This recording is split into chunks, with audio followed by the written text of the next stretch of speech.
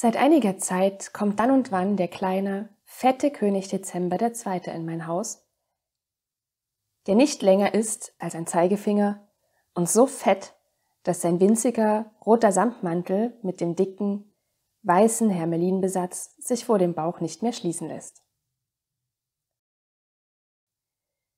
Der König liebt Gummibärchen. Wenn er eines isst, muss er es mit beiden Armen umfassen, um es festzuhalten. Trotzdem kann er es kaum hochheben, denn ein einziges Gummibärchen ist beinahe halb so groß wie der ganze König. Er schlägt seine Zähne in das weiche Bärchengummi und beißt große Stücke heraus, und zwischendurch fragt er, was er mich immer fragt. Kannst du mir was aus deinem Land erzählen? Als er mich zum ersten Mal besuchte, sagte ich, bei uns wird man klein geboren und dann wird man immer größer und größer, manchmal so groß wie ein Basketballspieler. Zum Schluss schrumpft man wieder ein bisschen ein. Dann kommt der Tod und dann ist man weg. Das ist unlogisch, sagte der kleine König und biss dem Bärchen die rechte Pfote ab. Warum ist man nicht am Anfang ganz groß und wird immer kleiner und kleiner und verschwindet zum Schluss?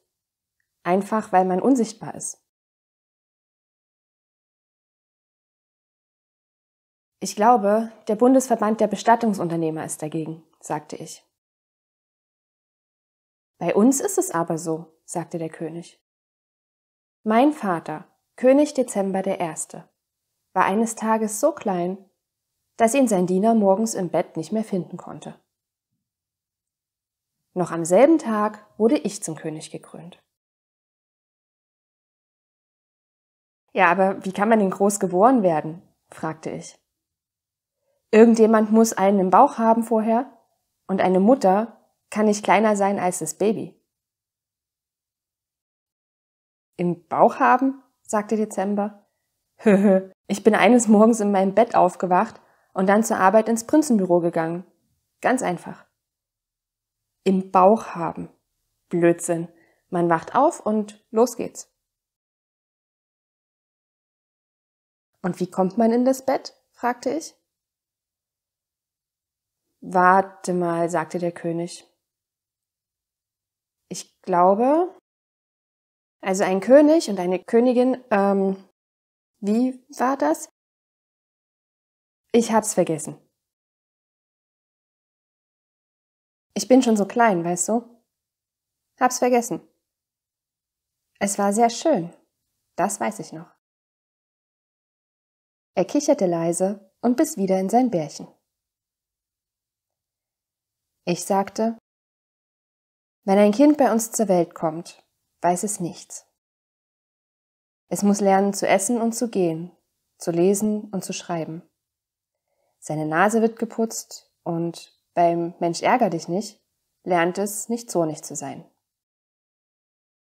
Überall sind große Hände, die es leiten und seinen Kopf hin und her drehen und sein Kinn heben.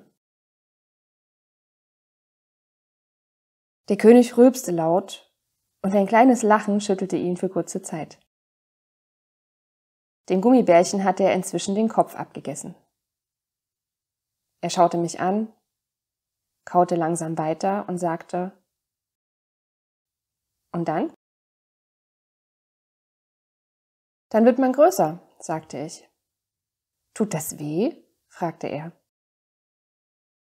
Es geht Ganz langsam, sagte ich. Obwohl, manche Kinder wachsen in einer einzigen Nacht zwei Zentimeter, und wenn man das Ohr an eines ihrer Arme und Beine legt, hört man es knirschen.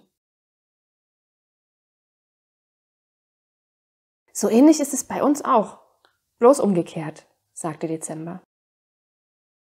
Man merkt das Schrumpfen nur manchmal, wie neulich. Abends habe ich ein Teetässchen gerade noch auf den Tisch stellen können und am Morgen musste ich schon auf einen Stuhl klettern, um es wieder herunternehmen zu können. Findest du größer werden schön? fragte er. Ich wusste bisher nicht, dass es andere Möglichkeiten gibt, sagte ich. Jetzt weißt du es, sagte er. Erzähl mir mehr, sagte ich. Was wisst ihr, wenn ihr zur Welt kommt, und was lernt ihr dazu? Wir wissen fast alles, sagte der kleine, fette König. Wir wachen auf und liegen da und erheben uns und können schreiben und infinitesimal rechnen und Computer programmieren und zur Arbeit gehen und Geschäftsessen. Alles kein Problem. Aber nach und nach vergessen wir es. Je kleiner wir werden, desto mehr vergessen wir es. Wenn einer dann nicht mehr Geschäftsessen kann, muss er nicht mehr ins Büro kommen, weil man ihn dort ja nicht braucht. Dann darf er zu Hause bleiben und noch mehr vergessen. Sein Kopf wird leer und es gibt Platz darin. Die anderen müssen ihm Essen machen und danach darf er zu seinen Freunden gehen. Oder die Schatten im Garten anschauen und sie für Gespenster halten. Oder den Wolken Namen geben. Oder seinen Teddybär anschreien. Oder wenn es ihm die Großen nicht verbieten, rief ich. Die Großen haben nichts zu sagen, sagte Dezember der Zweite. Je kleiner einer ist, desto mehr ist er Bestimmer, weil weil er die größte Lebenserfahrung hat. Und die Großen müssen ihm alle Fragen beantworten. Warum ist das Haus eckig? Warum sind auf einem Würfel nur sechs Zahlen? Warum regnet es? Wenn er die Antwort hat, kann er sie gleich wieder vergessen. Und weil die Kleinen die Bestimmer sind, haben wir Rolltreppen mit kleinen Stufen und winzige Klobrillen durch die man nicht hindurchfallen kann. Damit muss man zurechtkommen, solange man groß ist. Es geht nicht anders. Er stand mit einer schnellen, stolzen Bewegung auf, legte die Reste seines Gummibärchens auf den Boden und versuchte seinen Mantel zu schließen. Aber das ging nicht, er ist so fett. Deshalb setzte er sich seufzend wieder hin. Also ist, sagte ich und gab ihm das Gummibärchen wieder in die Hand, also ist bei euch die Kindheit am Ende des Lebens? Denk mal an, sagte der König. Man hat etwas, auf das man sich freuen kann. Er sah mich lange an. Weißt du, was ich glaube? sagte er dann. Nein, sagte ich. Ich glaube, es stimmt gar nicht, dass ihr größer werdet. Ich glaube, es sieht nur so aus. Wie kommst du darauf? fragte ich. Ich glaube, ihr fangt auch ganz groß an, sagte er. Wenn es stimmt, was du mir erzählst, also, ich stelle es mir so vor. Ihr habt alle Möglichkeiten und jeden Tag werden euch ein paar genommen. Ihr habt eine große Fantasie, wenn ihr klein seid, aber ihr wisst ganz wenig. Weil das so ist, müsst ihr euch alles vorstellen. Ihr müsst euch vorstellen, wie das Licht in die Lampe kommt und das Bild in den Fernseher und ihr stellt euch vor, wie die Zwerge unter den Baumwurzeln leben und wie es ist, auf der Hand eines Riesen zu stehen. Und dann werdet ihr größer und die noch größeren erklären euch, wie eine Lampe funktioniert und ein Fernsehapparat. Dann lernt ihr, dass es keine Zwerge gibt und keine Riesen. Eure Vorstellungen werden immer kleiner und euer Wissen immer größer. Ist das richtig? Ja, flüsterte ich. Und noch leiser. Aber es ist doch auch nicht schlecht, wenn man wächst und lernt und die Welt versteht und. Er redete weiter. Älter werdet ihr. Am Anfang wolltet ihr noch Feuerwehrmänner werden oder ganz anderes und Krankenschwestern oder ganz was anderes. Und eines Tages seid ihr dann Feuerwehrmänner und Krankenschwestern. Und ganz was anderes könnt ihr nicht mehr werden, denn dazu ist es zu spät. Das ist auch ein kleiner Werden, nicht? Ach ja, ja, seufzte ich. Nicht so schön wie bei uns, sagte der kleine, fette König. Er biss ein letztes Mal von dem Gummibärchen ab. Tut mir leid für dich. Na, für euch alle natürlich. Dann stand er auf, quetschte seinen Bauch durch einen Spalt zwischen meinem Bücherregal und der Wand und verschwand wieder aus dem Zimmer, wie immer, ohne Gruß und um ein winziges, winziges Kleiner.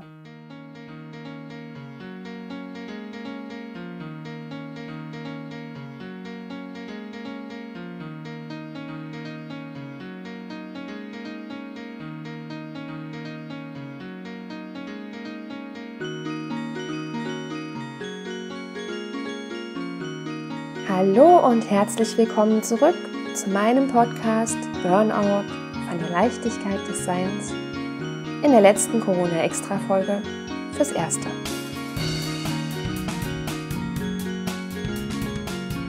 Ich hoffe, du hast die Geschichte vom Anfang genossen.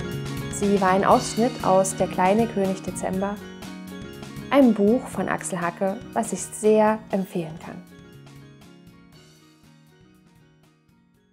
Jeder, der schon mal eine schwere Krise durchgestanden hat, weiß, das Leben geht danach nie weiter wie zuvor. Das ist das Erstaunliche und ein bisschen auch das Paradoxe an so schwerwiegenden Erfahrungen wie der Corona-Krise.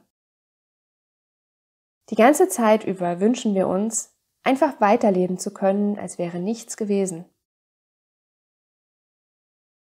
Und während wir uns Tag für Tag durch die Krise arbeiten und sie mit jedem Tag, der vergeht, auch ein Stückchen mehr überstehen, glauben wir meistens auch, dass wir uns der alten Normalität wieder entgegenarbeiten, die wir vorher hatten. Und wir hoffen weiterhin, dass wir irgendwann wieder so leben, als wäre all das nie passiert.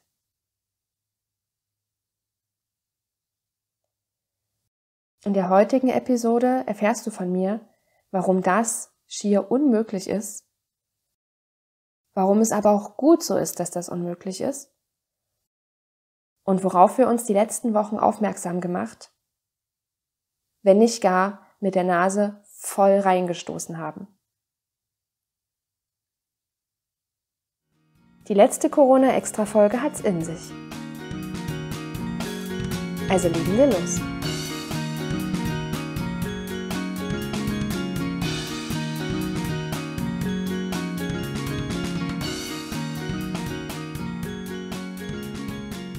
Warum werden wir nach der Krise nie wieder so leben wie zuvor? Ganz einfach. Weil wir zu keiner anderen Zeit so sehr wachsen und so viel erkennen wie in Krisenzeiten. Krisenzeiten. Sie zwingen uns zum Umdenken.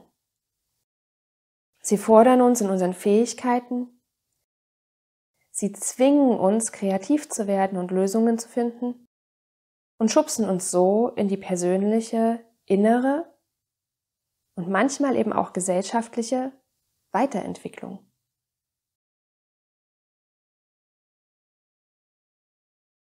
Dass wir das oft erst lange Zeit nach Überstehen der Krise sehen können, wenn überhaupt, liegt daran, dass wir uns in der Regel nicht bewusst dazu entscheiden, sie zu überstehen, indem wir neue Strategien entwickeln zum Beispiel, sondern dass unser Instinkt das für uns übernimmt. Also sprich, wir fangen an, Lösungen zu entwickeln, wir fangen an, umzudenken, wir wachsen an der Krise, wir wachsen an uns selber. Aber dadurch, dass wir das instinktiv machen, Und dadurch, dass wir ja in der Regel sehr, sehr, sehr beschäftigt sind in der Krise, fällt uns das einfach gar nicht auf. Wachsen ist was Natürliches. Naja, wie in der Geschichte gerade schon gesagt, meistens tut es auch nicht weh. Und wenn man so beschäftigt ist, wie wir, wenn wir in der Krise stecken, merkt man das also in der Regel nicht so sehr, dass man sich gerade unwahrscheinlich entwickelt und unwahrscheinlich wächst. Wenn dein Arbeitgeber dir gesagt hat, so du, du äh, musst jetzt von zu Hause arbeiten, weil alles andere im Großraumbüro zu risikoreich ist, dann hattest du keine Entscheidungsmöglichkeit. Und das heißt, in dem Moment war es auch einfach sinnvoller, dass nicht dein bewusstes Denken anspringt, sondern dein Instinkt, der sagt, okay, das ist jetzt die Situation und ich muss sie mir irgendwie angenehm machen und deswegen begebe ich mich jetzt automatisch auf die Suche nach Lösungen. Eigentlich liegt es ja in der Natur von uns Menschen, uns bis zum Ende unseres Lebens zu entwickeln und an uns selber, an den Menschen um uns herum, an unseren Lebenssituationen zu wachsen. Und bis vor zehn Jahren ungefähr hatten die Menschen noch ein bisschen mehr die Wahl, ob sie das tun wollen oder nicht. Wir hatten bis vor kurzem die Möglichkeit, in eine Art Alltagstrott zu versinken, der vergleichbar gewesen ist mit fast jedem anderen. Es gab ein klares Bild, wie man sein Leben lebt.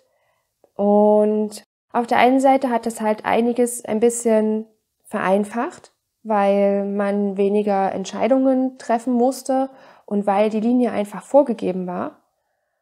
Auf der anderen Seite hat es aber auch dazu geführt, dass nicht jeder unbedingt so sehr bewusst an seiner Persönlichkeitsentwicklung gearbeitet hat. Und vielleicht ist das was, was auch dir jetzt, nachdem du die Corona-Krise durchlebst, auffällt. Wenn wir im Alltagstrott sind, wenn wir das machen, was wir jeden Tag schon seit Jahren machen, also auf die gleiche Arbeitsstelle fahren, jeden Morgen zur gleichen Zeit ins Auto einzusteigen oder jeden Morgen zur gleichen Zeit den Wecker klingeln zu hören oder jede Woche an dem gleichen Tag einkaufen zu gehen oder jedes Wochenende Samstagabend in dasselbe Restaurant zu gehen, etc. pp. Wenn wir also diesen Alltagstrott haben, stellen wir in der Regel all diese Dinge auch nicht in Frage, weil wir so sehr daran gewöhnt sind, weil der Alltagstrott ja auch etwas sehr Bequemes ist. Und so kommt es, dass wir ganz häufig unsere Entwicklungsmöglichkeiten und unsere Möglichkeiten, Dinge zu verändern, damit wir im Leben uns weiterentwickeln, einfach übersehen.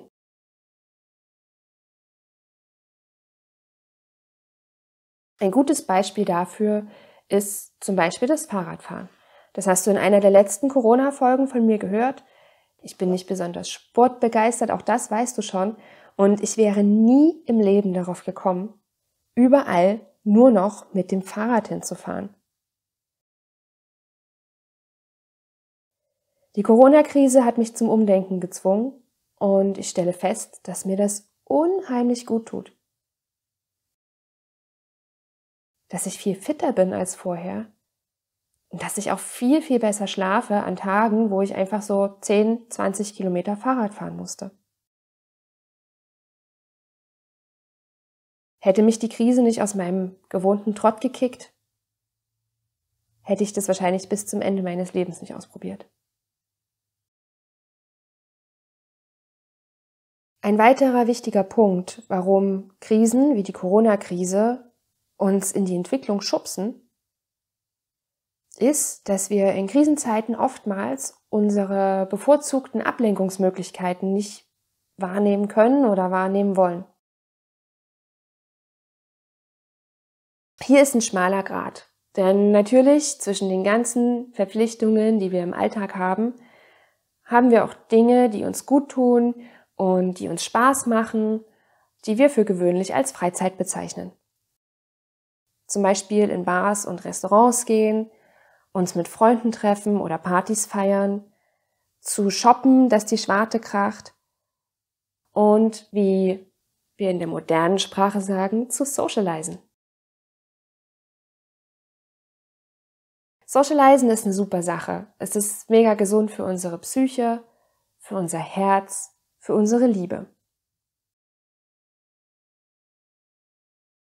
In unserer modernen Zeit, wo der Stresspegel bei vielen ja aber auch sehr hoch ist, wo das Gefühl da ist, nicht genug zu sein oder wo viele eigentlich auch eine hohe Unzufriedenheit haben mit ihrer aktuellen Lebenssituation, dienen genau diese Sachen, also Bars und Restaurants und Partys und Shopping und Urlaube und das Socializen, häufig aber auch der Ablenkung und dem Übertünchen von unangenehmen Gefühlen.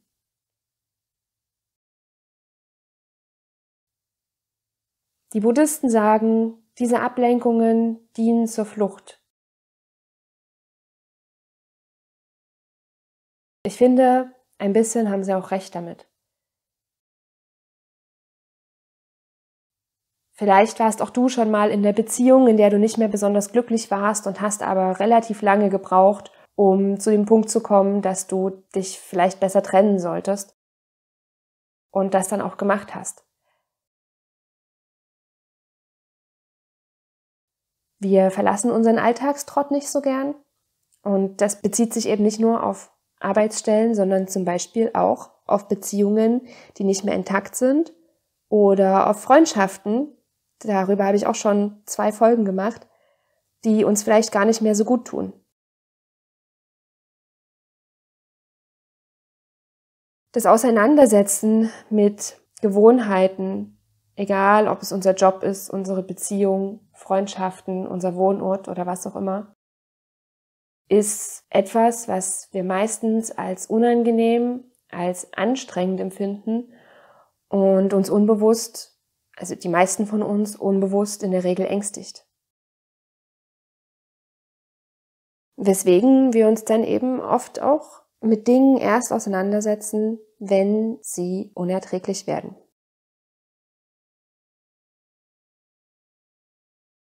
Dieser Effekt ist ähnlich, wie wenn du richtig, richtig gestresst von Arbeit kommst und dann den Abend mit Fernsehen verbringst, um runterzufahren.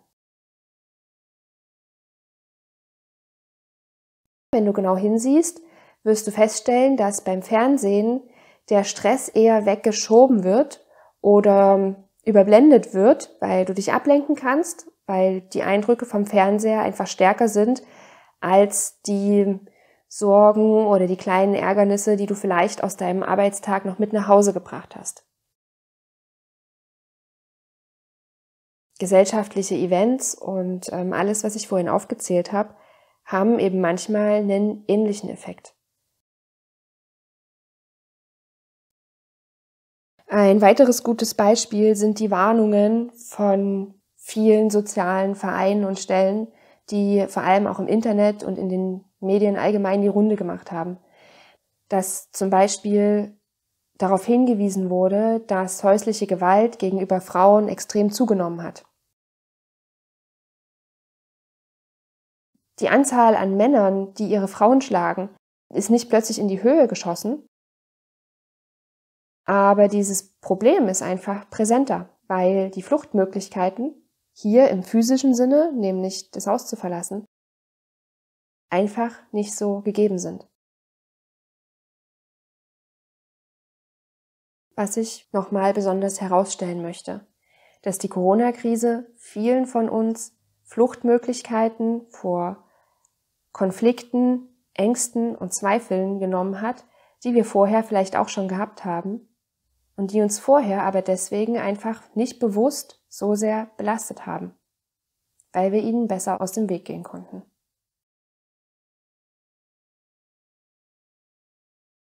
Wir alle haben jetzt also ein paar sehr anstrengende Wochen und Monate hinter uns, in denen wir deutlicher als je zuvor vorgehalten bekommen haben, womit wir in unserem Leben noch nicht fertig sind oder was es in unserem Leben zu bearbeiten, zu verarbeiten oder auch zu verändern gilt. Und so könnte man das, was global als die Corona-Krise bezeichnet wird, auch die Corona-Offenbarung im privaten und auch im globalen und politischen Bereich nennen.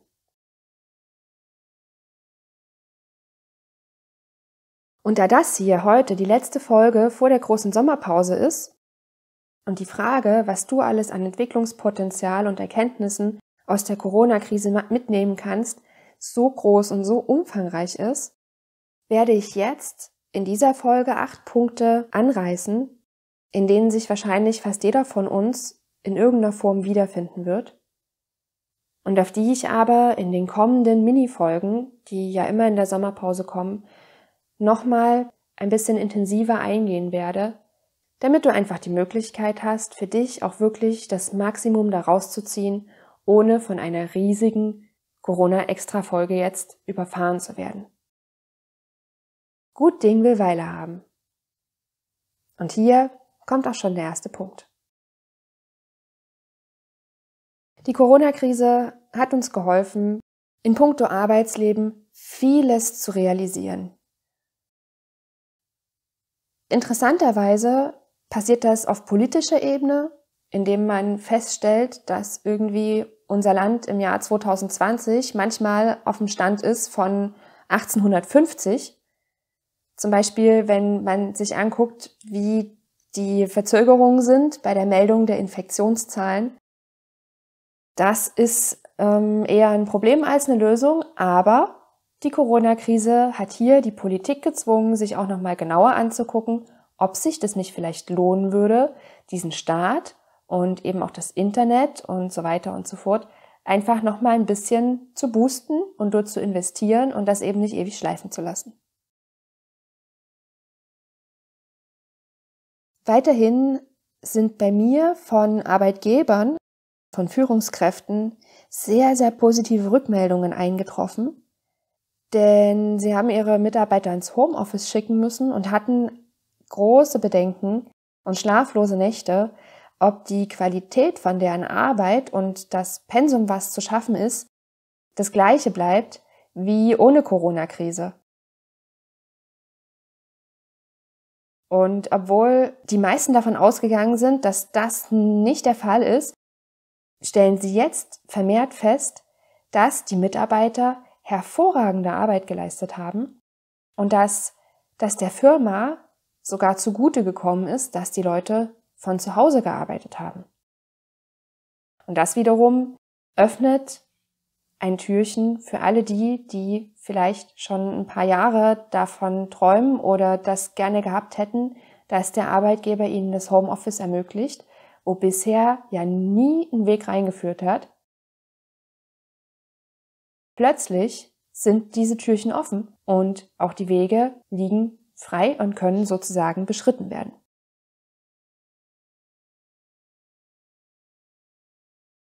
Die Corona-Krise hat auch dazu geführt, dass viele Arbeitnehmer sich mehr über ihre Arbeitsbedürfnisse klar geworden sind. Ich höre in den Coachings momentan überwiegend drei Varianten. Die meisten stellen fest, dass ihnen das Homeoffice sehr gut getan hat, weil sie ein bisschen flexibler in ihrer Lebenszeiteinteilung geworden sind. Und sie wünschen sich, dass das auch nach der Krise weiter bestehen bleibt. Manche haben für sich festgestellt, dass sie sehr gerne von zu Hause arbeiten, dass es aber auch Tage gibt, an denen sie sich wohler gefühlt hätten, wenn sie in die Firma hätten fahren können weil einfach die Arbeitsmotivation von Tag zu Tag verschieden ist und so weiter und so fort. Der kleinste Teil von den Menschen, mit denen ich in letzter Zeit zu tun hatte und über solche Sachen gesprochen habe, hat für sich festgestellt, dass er auf Homeoffice gänzlich verzichten wollen würde und dass er das einfach braucht, seine Umgebung zu verlassen und seine Arbeit an einem bestimmten Ort zu verrichten. Egal zu welchen, zu welcher Gruppe du gehörst, In jedem Fall ist es immer gut, seine Bedürfnisse zu kennen. Und dadurch, dass wir ja ohnehin gerade in der Zeit sind, in der sich ganz viel entwickelt auf dem Arbeitsmarkt, ist es umso wichtiger, dass du für dich selber weißt, wie du deine Arbeit gerne leben möchtest und dein Arbeitsleben dann entsprechend danach in Absprache mit deinem Vorgesetzten gestalten kannst. Der letzte Punkt beim Thema Arbeit ist einer, der in fast jedem Coaching angesprochen wurde, hat mich mega erstaunt. Und zwar, dass die Arbeitnehmer, die sich in Kurzarbeit befinden und die deswegen eigentlich frei haben und den ganzen Tag ausschlafen könnten, wenn man so will, feststellen, dass sie mit der Sonne wach werden. Dass sie also gegen sieben top fit sind, aufwachen ohne Wecker und das, obwohl sie in Arbeitszeiten halb acht aufstehen und das mit viel größeren Schwierigkeiten. Viele Menschen stellen gerade zum ersten Mal in ihrem Leben fest, dass sie eigentlich niemanden brauchen, keinen Chef und keinen Wecker, der sie morgens aus dem Bett schmeißt und sie zwingt, ihren Tag anzugehen. Dass sie eigentlich in sich ganz viel Motivation haben und dass sie sich auf den Tag freuen und deswegen auch aufstehen wollen, wenn die Sonne aufgeht, weil das, was vor ihnen liegt, etwas ist, worüber sie mehr Entscheidungsgewalt haben, als sie das in ihrem Alltag hatten, bevor die Corona-Krise kam. Sie haben festgestellt, so wie du vielleicht auch, dass es einen riesen Unterschied macht, ob man für sich morgens aufsteht und für seinen Tag, über den man selber entscheidet, weil man im Homeoffice ist zum Beispiel oder in Kurzarbeit. Oder ob man aufsteht für einen Arbeitgeber, der vorschreibt, wann man wo sein muss und der im Prinzip die ganze Woche für einen vorstrukturiert.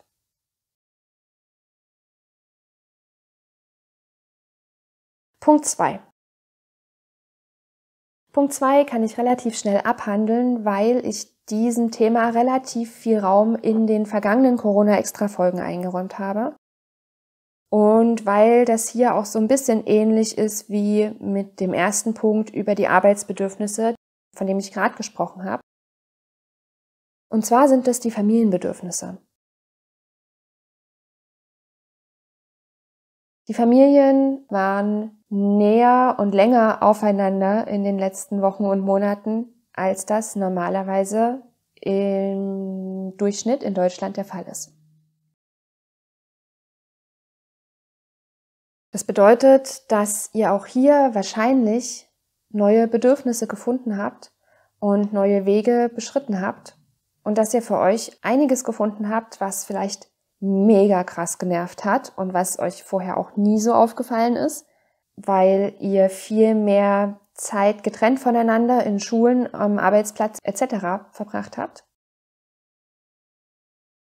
Wahrscheinlich habt ihr aber auch ganz viele Sachen gefunden oder gelebt, die vorher so auch nicht möglich gewesen wären und von denen ihr vielleicht auch denkt, dass ihr sie gerne beibehalten würdet und dass ihr sie gar nicht unbedingt dem alten Trott, der vor der Corona-Krise da war, wieder überlassen wollt. Ich bin ziemlich sicher, dass sich einige Erkenntnisse in Bezug auf eure Familie ergeben haben. Und ich möchte euch dazu ermutigen oder dich dazu ermutigen, sich die nochmal genau anzugucken, vielleicht sogar im Familienverband zu besprechen und daraus dann eventuell Konsequenzen oder vielleicht auch einfach nur Wertschätzung zu ziehen.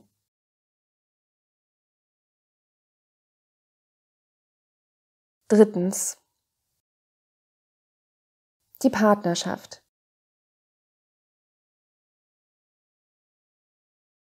Was auf Familie und Arbeit zutrifft, trifft natürlich auch auf deine Partnerschaft zu.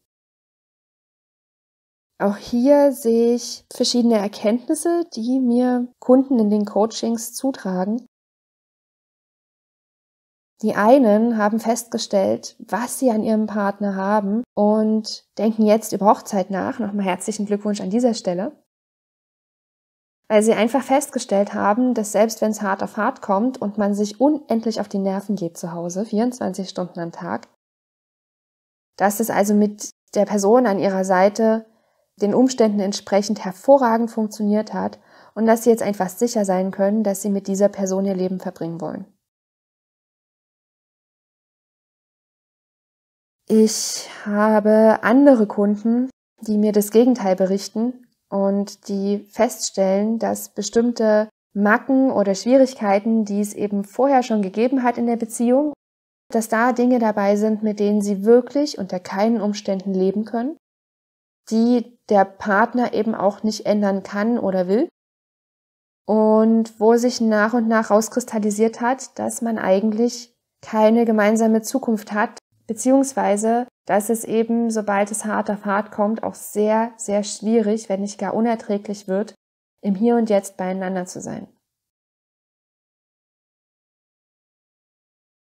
Also, auch hier in der Partnerschaft hat die Corona-Krise oder die Corona-Offenbarung viele Wahrheiten und aber auch viele Potenziale nochmal so richtig herausgestellt.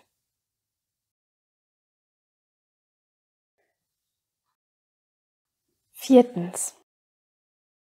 Und aufgrund dessen, dass sie eben nicht mehr so viel sich mit anderen beschäftigen können, wegen der Kontaktverbote und so weiter, haben viele Menschen angefangen, sich mit sich selber zu beschäftigen und auch zu konfrontieren. Die Corona-Krise hat das Aufbrechen alter Konflikte und Ängste in sich selber befördert. Wir bauen oft einen Alltag um unsere tiefer liegenden Konflikte drumherum. Das sind wie Schmerzstellen und sie sind so ein bisschen wie wunde Punkte. Viele Menschen haben sich ihr gesamtes Leben so aufgebaut, dass diese wunden Punkte durch ihren Alltag nicht berührt werden können. Oder sie tragen sie in sich, weil eine gewisse Prägung oder gewisse Ängste einfach von den Eltern mitgegeben wurden und die jetzt aber durch die Corona-Krise entweder getriggert wurden oder aber auch ganz andere Konflikte, die gar nicht unbedingt jetzt durch die Corona-Krise berührt wurden, die aber einfach wieder hochgekommen sind, weil die Menschen mehr Zeit mit sich selber haben und weniger Möglichkeiten, sich abzulenken. wenn du in letzter Zeit mal einkaufen warst oder vielleicht sogar in der Postfiliale, egal wo man geht und steht, man merkt einfach, dass unsere Gesellschaft gerade echt mit den Nerven am Ende ist. Und das ist einer der Gründe, dass wir uns mit Dingen beschäftigen müssen, die wir nicht mehr wegschieben können, indem wir shoppen gehen und mit Freunden unterwegs sind und uns eben die ganze Zeit mit schönen Sachen beschäftigen und ablenken. Deswegen ist es ja auch so wichtig, sich gerade im Moment so viel Gutes zu tun wie möglich und Wege zu finden, trotz der Einschränkungen, seine Seele zu streicheln. Aber es ist eben auch eine riesengroße Chance. Alles an Ängsten, an Konflikten, an Zweifeln, die wir in uns tragen, sind Ängste, Konflikte und Zweifel, die uns zurückhalten, die dafür sorgen, dass wir uns manche große Entscheidungen nicht zu treffen trauen, die uns also im Leben ausbremsen und die dafür sorgen, dass manche von uns ihr volles Potenzial, was sie in sich tragen, niemals ausschöpfen können. So liegt es uns aber auch inne, Konflikte, die wir in uns haben, zu lösen. Dazu braucht es keine besondere Fähigkeit, sondern dazu braucht es vor allem das Bewusstsein, dass diese da sind und sich eben ihnen zu widmen. Und die Corona-Krise hat bei vielen Menschen dafür gesorgt, dass sie ein bisschen mehr gezwungen sind dazu. Das fühlt sich nicht schön an, ist aber, was unsere persönliche Entwicklung angeht, ein guter Schubs in die richtige Richtung.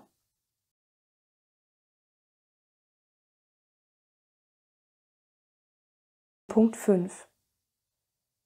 Die Wertschätzung selbstverständlich geglaubte Alltäglichkeiten. Denn oftmals rasen wir durch unser Leben, durch unseren Alltag und vergessen dabei ganz, dass wir so viele Kleinigkeiten in unserem Leben haben, die uns so glücklich sein lassen. Und auch dazu hat uns die Corona-Krise gezwungen. Aufmerksam zu werden auf diese Kleinigkeiten, auf diese Alltäglichkeiten und zu resümieren, wie wertvoll diese eigentlich sind. Was haben wir gestrebt vor der Corona-Krise nach einem größeren Auto, einer besseren Handtasche, nach so vielen Sachen, für die wir hart gearbeitet haben, nach denen wir uns so lange gesehnt haben? Und wie viele Sachen haben wir jeden Tag einfach nur gelebt, statt sie zu genießen? Weil wir so daran gewöhnt gewesen sind, dass sie immer da sind. Die Corona-Krise hat dafür gesorgt, dass wir mit kleineren Sachen wieder glücklicher sein können. Dass wir unsere Freiheit wertschätzen. Dass wir diese Leichtigkeit, diese kurze Abwesenheit von Sorgen, wenn wir mit Freunden im Park sitzen zum Beispiel, dass uns auf einmal bewusst wird, wie wenig selbstverständlich das ist dass wir sehr, sehr viele kleine Samen in unserem Alltag haben für Glück und Zufriedenheit. Und dass wir diese, wenn alles normal läuft und keine Krise vorherrscht, übersehen und dass wir deswegen häufig nach viel größeren Zielen Ausschau halten, daran unser Glück festmachen, weil wir denken, wenn wir die erreichen, dass wir dann die Zufriedenheit erlangen, die wir aber vielleicht schon vorher hätten haben können Hätten wir das Bewusstsein, was wir jetzt durch die Corona-Krise haben, wie wertvoll diese alltäglichen Kleinigkeiten sind, schon gehabt.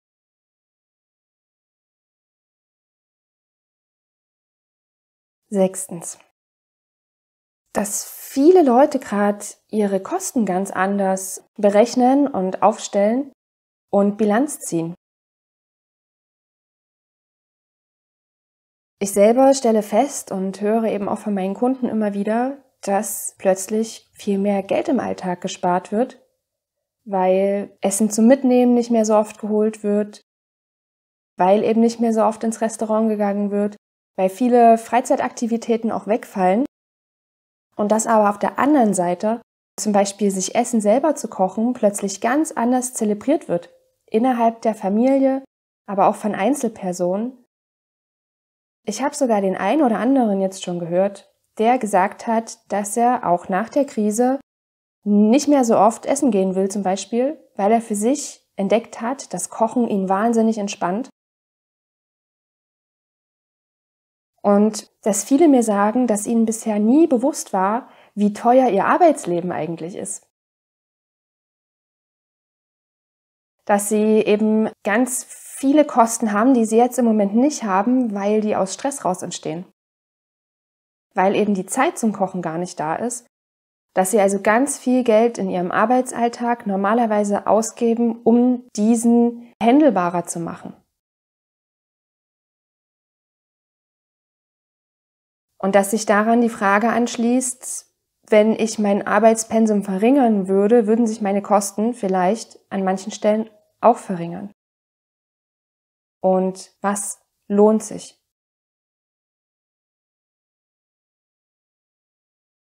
Siebtens ergibt sich aus den letzten beiden Punkten, die ich gerade angesprochen habe, nämlich aus der Wertschätzung der selbstverständlich geglaubten Alltäglichkeiten, die uns jetzt sehr lange gefehlt haben und uns stellenweise vielleicht noch eine Weile fehlen werden.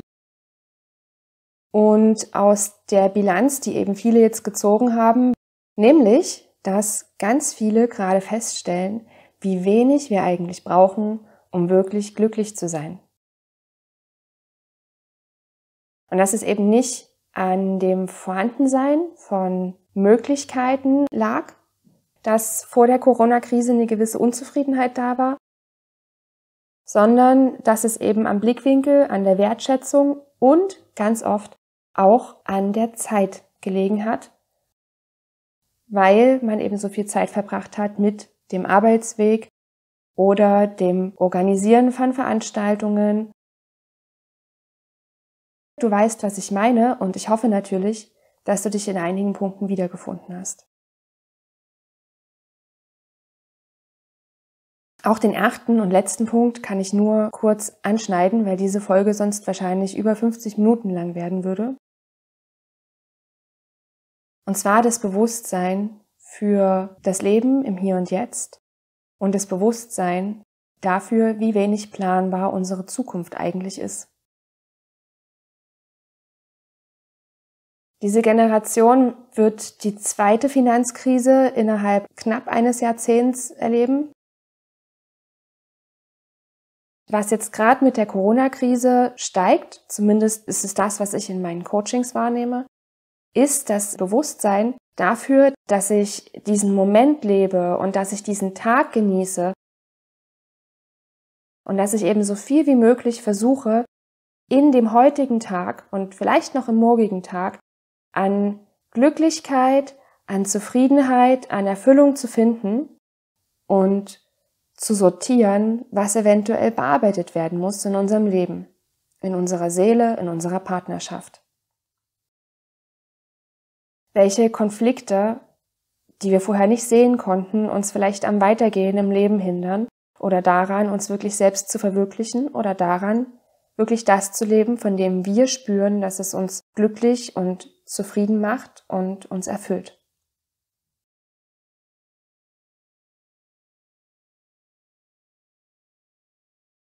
Die Krise stößt uns mit der Nase in unsere Ängste, in das, was weg soll und was wir hätten vielleicht schon lange bearbeiten sollen, und in das, was bleiben darf und was sich ändern oder vielleicht auch hinzukommen soll. Falls du also zu denen gehörst, die endlich wieder in der Normalität angekommen sind und aber jetzt feststellst, dass du einiges in dieser Normalität wie du sie vorher hattest, gar nicht mehr haben willst, sei dir gewiss, dass du damit auf gar keinen Fall alleine bist. Das hier ist eine große Nummer und deshalb lautet das Mantra der Woche diesmal übrigens auch Zeit aufzuräumen.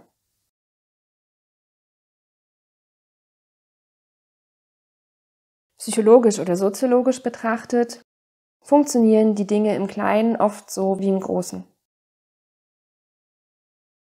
Das bedeutet, dass Krisen nicht nur Einzelpersonen durchschütteln und fordern und deren Entwicklung vorantreiben in sehr, sehr großen Schritten, sondern dass das auch auf uns als Gesellschaft zutrifft.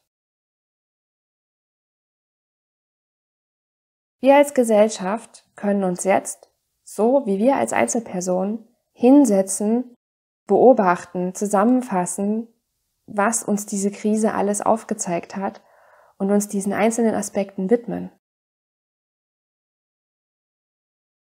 Die gleichen Fragen, die ich gerade zusammengefasst habe aus dem, was ich jetzt aus den Coachings die letzten zwei Wochen so entnommen habe, können wir uns also nicht nur als Einzelpersonen stellen, sondern wir können sie auch auf die gesamte Gesellschaft beziehen.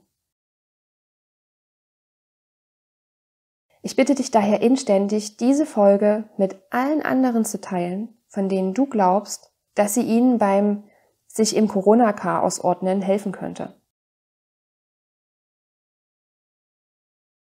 Heute, am 28. Mai, wäre eigentlich die fünfte Staffel von Burnout von der Leichtigkeit des Seins zu Ende. Die Carola-Krise hat die ja aber unterbrochen. Deshalb geht es Ende September oder ich, ich glaube sogar am 1. Oktober nicht mit Staffel 6, sondern mit dem zweiten Teil der fünften Staffel weiter. Deswegen hast du bis zum Start der zweiten Hälfte der fünften Staffel, wie gesagt, trotzdem alle 14 Tage donnerstags eine Kleinigkeit von mir auf den Ohren, um dein Maximum an positivem Wachstum aus der Krise mitzunehmen. Und sollte Corona sich zurückmelden und erneut für großes Chaos in Deutschland sorgen, gibt es ja vielleicht auch die ein oder andere Corona-Extra-Folge zwischendurch. Ich danke dir fürs Zuhören. Bis in 14 Tagen, wenn die erste kleine Sommerpausenfolge kommt. Bleib gesund. Ich bitte dich, diese Folge zu teilen. Deine Susi.